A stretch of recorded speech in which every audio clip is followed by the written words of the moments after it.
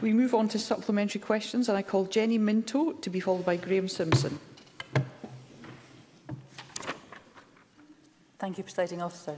To ask the First Minister to join me in this National Carers Week in recognising the immense contribution carers make to the health and well-being of our loved ones across the country and to give an update on the SNP Scottish Government's commitment to establishing a national care service.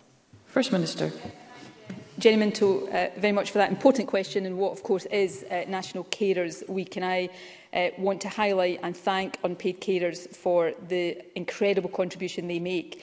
Uh, we introduced the Carers Allowance Supplement to support carers who are in receipt of Carers Allowance. I recognise that is not every uh, unpaid carer, but the uh, Carers uh, Allowance Supplement has uh, helped uh, over 100,000 uh, carers since uh, 2018. Uh, the pandemic has added to the pressure on carers, which is why uh, last year we provided an extra payment and of course we plan to do the same this year.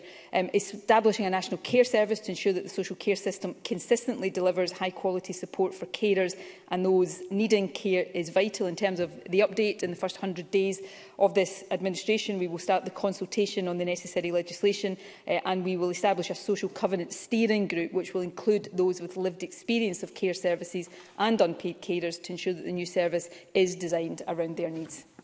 Graham Simpson